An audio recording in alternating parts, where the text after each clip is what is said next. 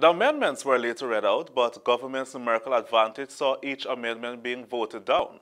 On that basis, the bill was passed as is. The Caribbean Court of Justice will on Thursday hear oral arguments in the final appeal of four transgender persons who are challenging the 1893 Summary Jurisdiction Offences Act that deals with matters against religion, morality, and public convenience, which makes it an offense for a man in any public way or public place for any improper purpose to appear in female attire, or for a woman in any public way or public place for any improper purpose to appear in male attire.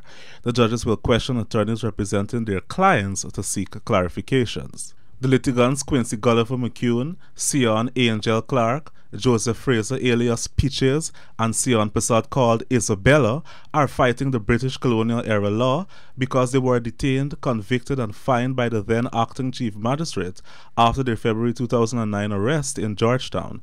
Joel Simpson, head of activist group SASOD, which is behind the legal challenge, is in Trinidad where the case is being heard. He feels that judges at the CCJ represent high judicial intellect. So you have the best of Caribbean jurists who are able to appreciate and interrogate um, the level of arguments um, that we're presenting in the case. He tells the Evening News that he's quite confident that the trans group will come out victorious as the Caribbean court is not in a bubble and is learning from what he called more progressive societies.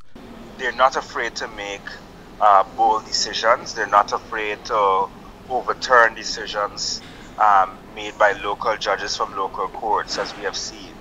So we are extremely confident and we're fortunate that um, many years ago, Guyana has made the Caribbean Court of Justice uh, the final court of appeal for Guyana. Former acting Chief Justice Ian Chang in September 2013 ruled that cross dressing per se is not a crime unless done for an improper purpose, but the case was dismissed by Guyana's appeal court last February. The litigants are also fighting against the then acting chief magistrate's conduct when she told the individual appellants that they were confused about their sexuality and should follow the teachings of Jesus Christ, comments which they claim are inconsistent with our constitution.